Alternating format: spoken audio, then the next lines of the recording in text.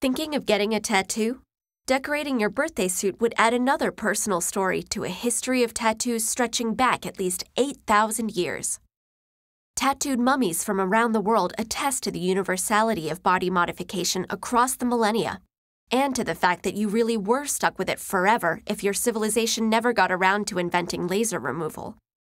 A mummy from the Chinchorro culture in pre Incan Peru has a mustache tattooed on his upper lip. Otzi, mummified Iceman of the Alps, has powdered charcoal tats along his spine, behind his knee, and around his ankles, which might be from an early sort of acupuncture. The mummy of Amunet, a priestess in Middle Kingdom Egypt, features tattoos thought to symbolize sexuality and fertility.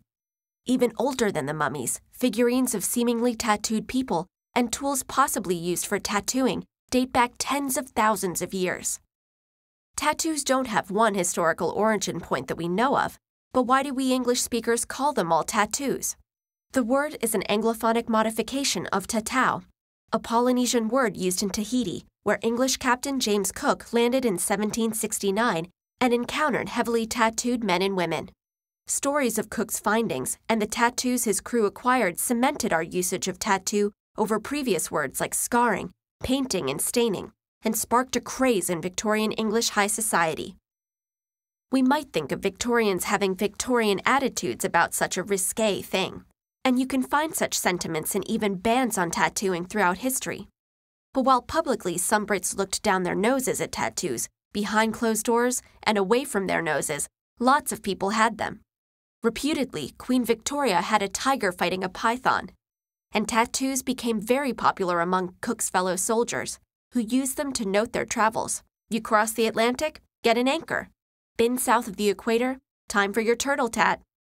But Westerners sported tattoos long before meeting the Samoans and Maori of the South Pacific. Crusaders got the Jerusalem cross, so if they died in battle, they'd get a Christian burial. Roman soldiers on Hadrian's Wall had military tattoos and called the Picts beyond it Picts for the pictures painted on them.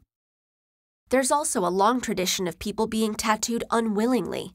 Greeks and Romans tattooed slaves and mercenaries to discourage escape and desertion. Criminals in Japan were tattooed as such as far back as the 7th century. Most infamously, the Nazis tattooed numbers on the chests or arms of Jews and other prisoners at the Auschwitz concentration camp in order to identify stripped corpses. But tattoos forced on prisoners and outcasts can be redefined as people take ownership of that status or history. Primo Levi survived Auschwitz and wore short sleeves to Germany after the war to remind people of the crime his number represented. Today, some Holocaust survivors' descendants have their relatives' numbers tattooed on their arms. The Torah has rules against tattoos, but what if you want to make indelible what you feel should never be forgotten? And those criminals and outcasts of Japan, where tattooing was eventually outlawed from the mid 19th century to just after World War II, added decoration to their penal tattoos with designs borrowed from woodblock prints, popular literature, and mythical spiritual iconography. Yakuza gangs viewed their outsider tattoos as signs of lifelong loyalty and courage. After all, they lasted forever, and it really hurt to get them. For the Maori, those tattoos were an accepted mainstream tradition. If you shied away from the excruciating chiseling in of your moko design, your unfinished tattoo marked your cowardice. Today, unless you go the traditional route, your tattoo artist will probably use a tattoo machine based on the one patented by Samuel O'Reilly in 1891, itself based on Thomas Edison's stencil machine from 1876. But with the incredibly broad history of tattoos giving you so many options, what are you going to get? This is a bold lined expression of who you are, or who you want to appear to be.